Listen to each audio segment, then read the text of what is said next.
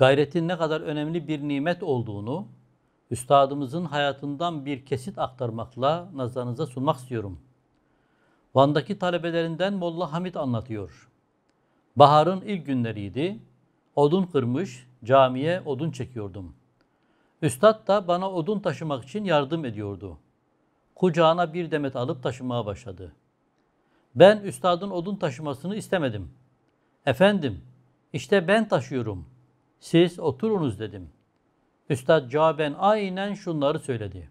Birader, gayretim kabul etmiyor. Sen çalışasın, ben oturayım. Eğer bilsen gayret ne kadar hayırlı bir iştir, ömrünü bir dakika boşa geçirmezdin.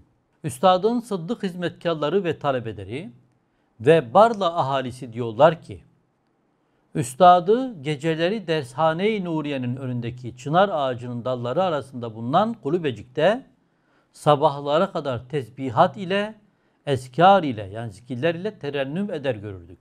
Hele bahar ve yaz mevsimlerinde bu muhteşem ağacın binlerce dalları arasında şevk ve cezbe içinde uçuşan kuşlar arasında üstadın böyle sabahlara kadar çalışmasını görürdük de ne zaman uyur, ne zaman kalkar bilemezdik.